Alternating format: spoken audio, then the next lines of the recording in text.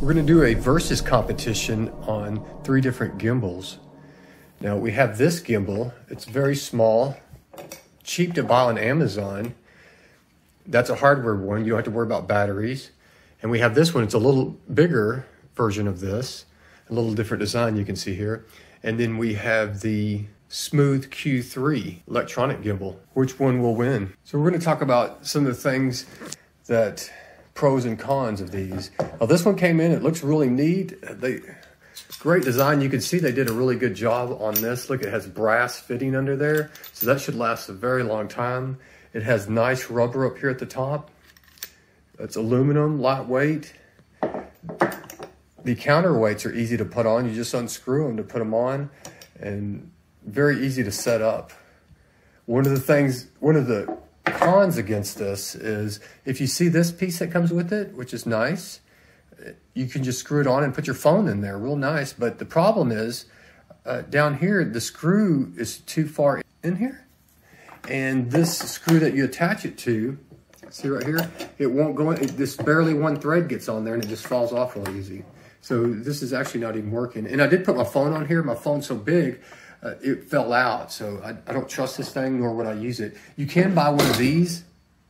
These are definitely, I use these all the time. This is my favorite, and it's one of the best selling on Amazon too. And you put your phone in here and you twist this and it locks it into place. Has some nice rubber up here. Definitely the best. I've been using this uh, type for years, even on a tripod. I did put this one on here and was able to get it balanced it's okay. We're going to try it out. This is not my favorite. As you can see right here, as you move your hand, see that? If you try to go down, as long as you're keeping it level like this, and if you move down, it's fine. But if you move your hand up, see how that hits it? So sometimes you might uh, try to go down like this. And then if you could see, you got to be real ginger with it because if you if you move it to it, it's just going to kind of swing around there. So I mean, I think this would work for somebody. Really nice quality build, cheap price. And you can easily see right here, it has a uh, level, so you can help level it when you're setting it up. But I don't think I'll be using this one. Okay, let's take a look at this one. So the build quality is carbon fiber, which is beautiful. Look at that. Ultra lightweight. The heaviest thing seems to be the, the rubber on the handle. So I guess if you wanted to, you could actually take that rubber off, but it sure is nice because you it's real tactile and grippy and gives you a good uh, feel, easy to carry. Uh, it's not that heavy at all. The mount for the phone is mounted up here, so it's real easy. Just put your phone in there and you're ready to go. This one's very easy to balance. All you do is screw this in right here, and then from here you can take and undo these. And, and, look at that nice aluminum they used on here. This is top quality made. And then you can open this and just move this back and forth and then put your weights on down here. And then you can undo this one and move this up and down. Very, very easy to set up. I've seen some people that said that it was hard. It took them some time, but it seemed pretty easy. So we're going to try this one also, and then we'll try this one over here. Now, I really have no complaints about this one right here everything uh, fit together, all the screws worked. So, so far so good. And if you look at this bearing in here and how this is all aluminum and look at this beautiful bearing, there's no play in it. You don't hear any squeaking. It's just it's so smooth. So really high quality uh, craftsmanship on that. So they did a good deal on that. That's the SF04. And then we have the Smooth Q3 this is pretty neat, easy to set up. Uh, when it comes in the box, you do have to uh, take consideration. If you see that, see that little plastic piece right here? When it comes, it comes, sorry about that. When it comes, it comes locked, so you have to kind of click it, hear that? A lot of people I read on there that they were trying to use it and it wasn't working. So just click that. That's just a, keeps it locked into place for shipping. And then you open this bolt or nut and then you slide this up and tighten that back down. That's it charge it, and you'll be ready to go. This one's ultra simple to set up. All you do is put your phone in here and get it in this, you know, is in the center in here, and that's it. You're ready to go. The one complaint I do have about this so far is if you look in here, uh, that's the top of your phone, and you're gonna have your phone landscape or sideways. So on my phone, the power button and volume up and down rockers are on the side. So it hits right in here. It's almost like this isn't cut out enough. So the buttons hit on here. Luckily on my case, the buttons are sunk in. So I think it's to be okay, but uh, I, I don't like that about it. I don't. Another thing I don't like about this. See how you go like that and then put your phone in there. Um, it this seems like it needs to be bigger to for bigger phones, especially if you're using your case. It just seems like it's too tight. If they would have put this type of mount on here, that would have been uh, so much better. So those are one of the things I don't like about it. Uh, it does come with a stand that you can screw into the bottom, which is uh, really awesome, and it just flips out, so easy to use. Uh, but we're well, the main thing that we're going to be focusing on in this video is how the gimbal itself works. We're going to be walking up and down stairs and that's the, the main focus on this is just, hey, which one of these would be better to use? You hear some people, they say they like this one better because, you know, there's no batteries, it's mechanical, you know, it's going to be a lot harder to break down.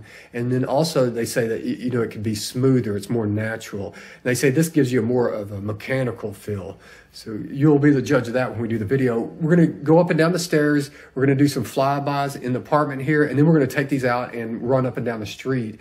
Because I think that's the real test. Because when you're running, the cam- camera's going up and down, back and forth, rolling, and then uh, up and down the Z axis, which is really, I think, really hard to do. Let's go ahead and get started. We're gonna. Our first test will be with this phone that I have in, that uh, we're recording this with. It's a Google Pixel XL4. The first, we're going to do a flyby around the apartment. We're going to go up the stairs, and then we're going to uh, run outside with stabilization turned off. Now, the, this Google phone does an incredible job of stabilization. So the first run we'll do with stabilization turned off. Then we'll do a run with the stabilization turned on. And then we're going to come back and then we're going to do the stabilization off with these. And then we'll do the stabilization on. So you'll get to get a good idea of how these are going to stack up. This is going to be our first run through. This is with the Pixel phone by itself holding in the hand, walking around, and this was with video stabilization turned off. We'll do a walkthrough, we'll go up the stairs, and then we'll go run, and we'll come back and do the same thing with video stabilization turned on.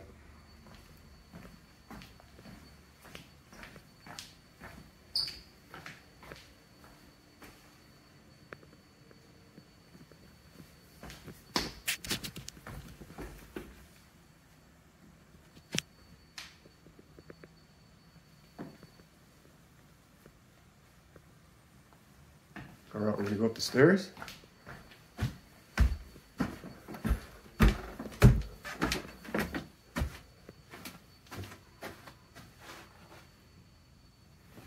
We're gonna go down the stairs.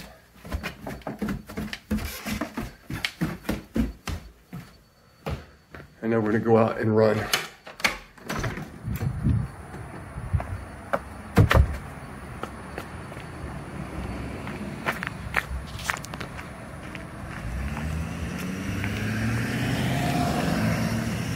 Here we go, we're gonna run.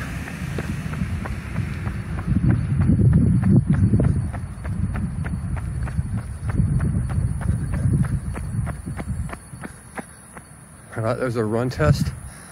We're gonna walk back.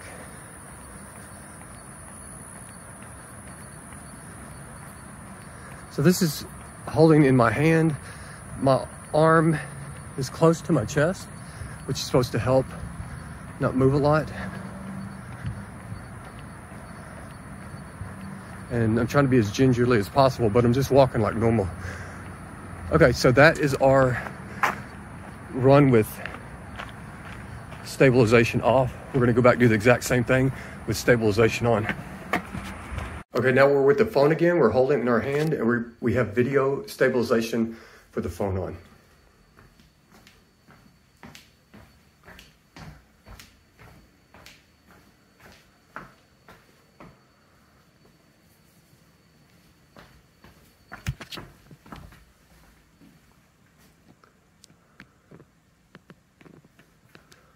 All right, we're gonna go up the stairs.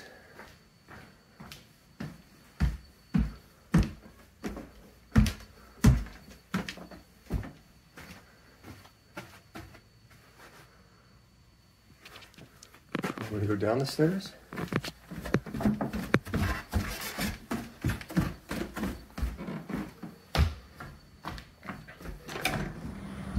We're gonna go outside, do our run, and then walk.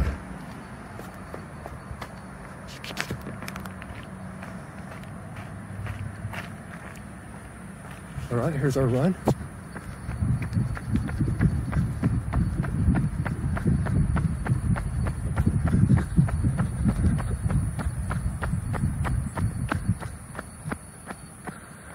Okay, that was our run. We're gonna do our walk back. And then we're gonna do the same thing this time with the mechanical. See how that does.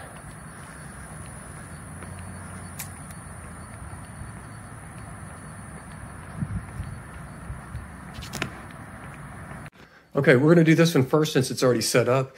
And this is, we're gonna do with the video stabilization off. So I'm gonna mount the phone and we'll come right back. Okay, we're back. We have it mounted and we're gonna try it with the video stabilization off.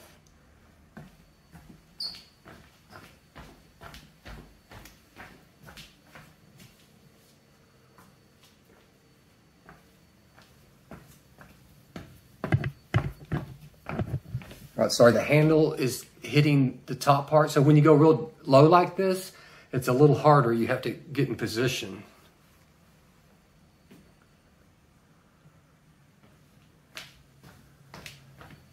All right, we're gonna go up the stairs now.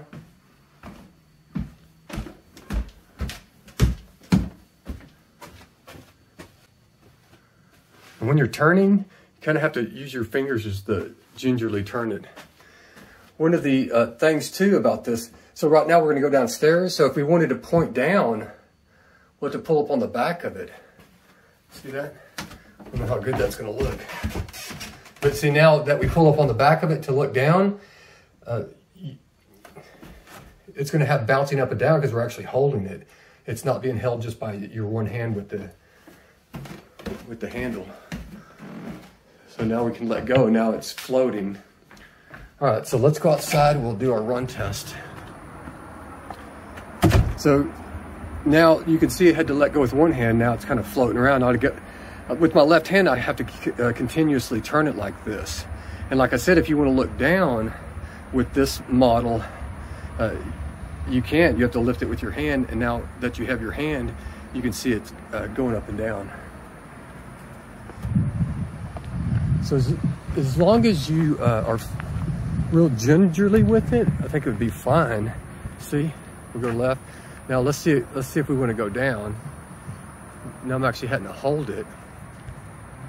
So it's still pretty smooth. All right, well, we'll try a run test and see how smooth it really is.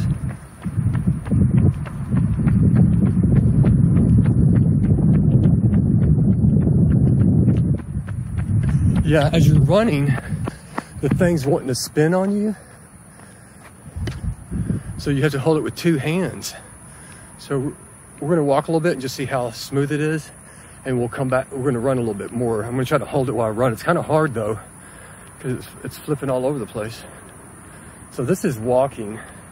We'll do one more run and uh, we'll try to hold it this time.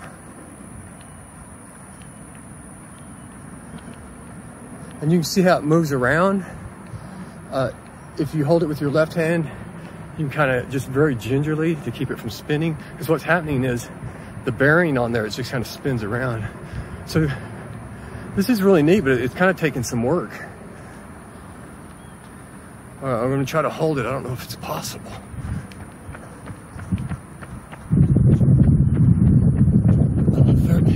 Yeah, it's almost impossible to hold this thing and run. Uh, yeah. Yeah, I'm having a hard time with this.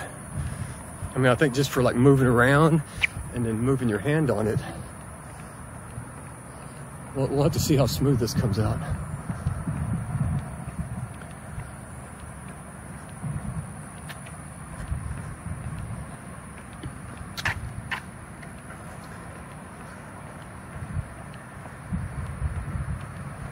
This is just walking and with my left hand, I'm rotating the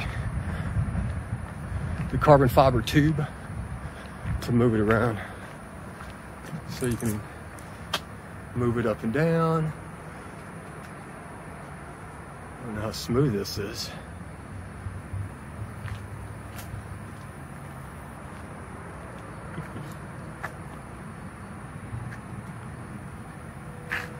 And this is without video stabilization on. So it does seem to make a difference. You just have to be uh, really smooth with your body and your motions as you're turning the carbon fiber rod. All right, we're gonna pause this, take video, put video stabilization on and do the same test. Okay, we have the carbon fiber on again, and this time we have video stabilization on.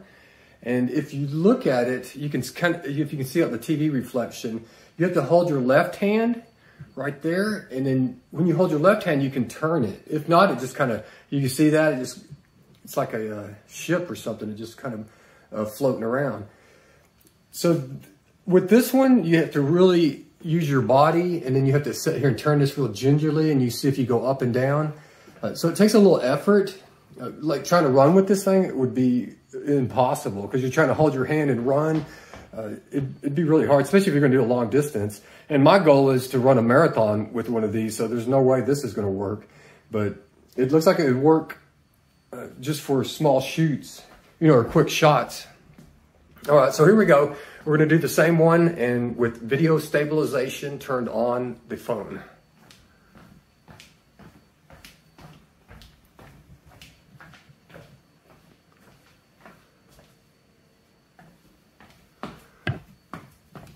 Oh, sorry, the handle is hitting it.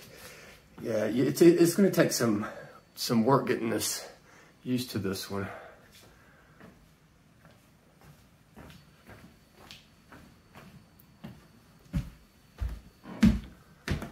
So on here, as we're going up the stairs, you still have to hold uh, the shaft, the carbon fiber shaft, and then you have to like tilt it up. And when you do that,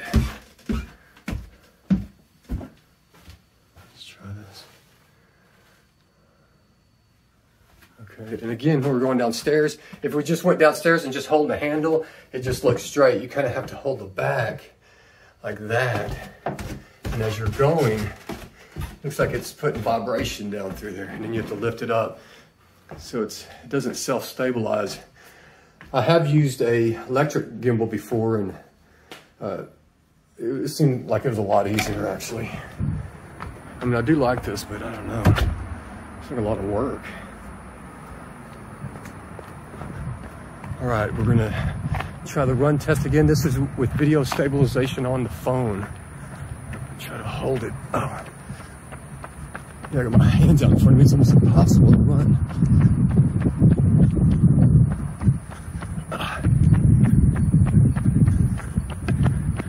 Yeah, this is, I'm not, I'm not digging this. All right, so here we go. We're going back.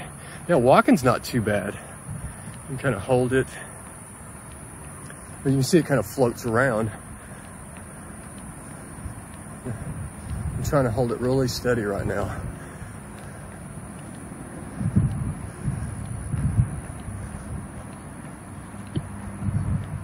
Yeah.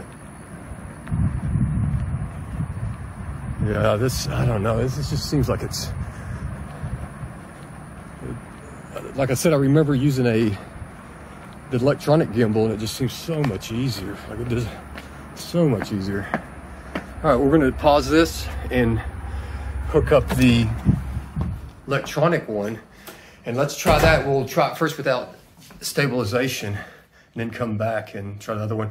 Like I said, there's this does have a lot of features on it. It has a light, has different modes that you can go into. Uh, the only mode that we're really going to do is just, like I said, for the gimbal. And the other thing that we want to find out, uh, I'm going to run nine miles with this and see the endurance of it. It's supposed to last 10 hours. So when you press the button on the back, it'll show you the charging by these bars. So we'll run, you know, like an hour and a half and then come back and see, uh, you know, how discharged it is. Because, uh, you know, see if it'll make the whole marathon, which is 26 miles. It's going to uh, take about four hours at least. So I don't know if that thing will make it. And that was the reason was originally looking at these, uh, these types, is because at least you don't have to worry about the batteries. Uh, they're pretty solid. You know, don't have to worry about them breaking down. But man, are they a lot of work. All right, we're gonna pause and come back. Okay, now we have it mounted and we're gonna see what it has in this uh, electronic gimbal. I don't know if you can see it in the reflection of the screen. It's pretty easy, just move it back and forth and it does the rest. Now, with the case on, it does fit in there and it's not hitting the buttons. Um, now, if you can see the handle, the handle is is small. It's almost like if, when you go to McDonald's and get one of those kids' ice creams, it's like feels like you're holding one of those. I wish it was a little bigger, and I've seen some other people say that. It's not a huge thing, but uh, it just does feel like it's a little small, like you like might fall out your hand. But no, I mean not terribly bad. Uh, but that's it. You just put the phone in there, turn it on, and it's ready to go. It's it's that easy. So we're gonna do our same test. This is with video stabilization off. Here we go.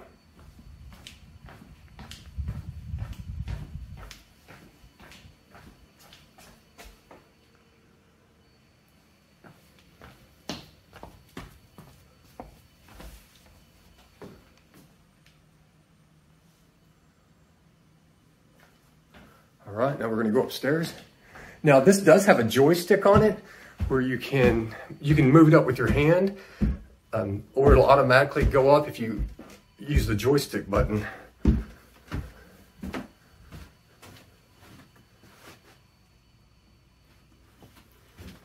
So yeah, same as here. If, if we want to go down, you can push this down or just push the whole thing down with your hand, uh, which is not going to work, or you'd have to use a joystick. Now, when you go to use a joystick, this is what I was talking about. This thing is so small for your hand. For some, it might be fine, but if you have bigger hands, it might be a little hard. And then at that point, you just click the joystick and point towards down. And then as you're coming around, you're going to want to, because it's still pointing down, you'd, you'd want to kind of, you would want to come up like that. So pretty easy. Takes just a little finesse to get used to. All right, so now we're gonna do our run. And we're almost done because we're gonna, our next one is gonna be with, so this is with video stabilization off. And then our next one will be with video sta uh, stabilization on. So here we go, we're gonna do our run. And for this one, which is cool, you don't have to hold that, try to hold that stick. Okay, here's our run. Pretty easy, we're gonna walk back. Oh yeah, this thing, I'm telling you, I love it. I mean, even it's, if it's, uh, so twice as much as the other one, it's so easy. You stick your phone in it and you're ready to go. It does all the work for you. So especially for running, like I was saying, if you're going to uh, be doing a lot of running or action, it's almost like you gotta have one of these. All right, we're gonna pause this, turn on video stabilization and do the same test again.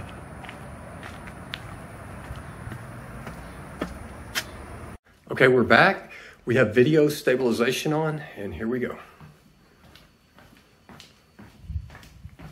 And when you're walking around, it's just automatically panning by itself. I'm not pushing any buttons. The only time I feel like you really need to push buttons is when you're like going up the stairs so I'm just moving it up and down and it's keeping it straight forward. So like now we're going up the stairs, even if I lift it up, it's still not gonna point up. So then at that point, you'd have to, with the little joystick, just push it up. Which is right there on the front. And then when you got towards the top, you could push it again. So we're back to the stairs, so we're gonna have to push the joystick so it looks down.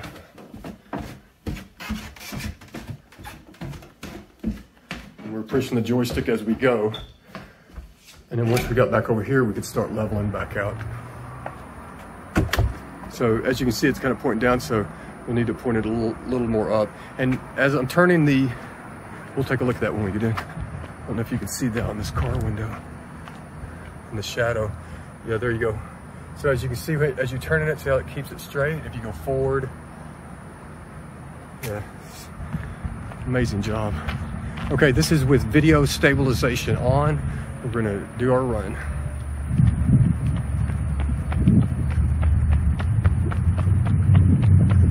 This is a pretty good sprint too, so just give you an idea.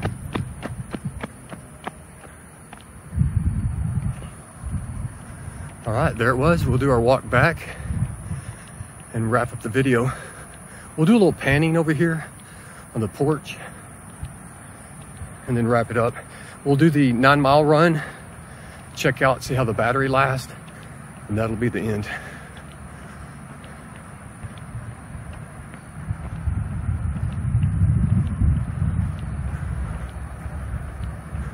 We'll do some panning over here.